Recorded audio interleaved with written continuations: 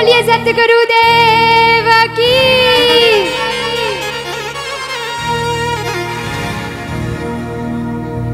अरे खेता राम जी री सेवा तो।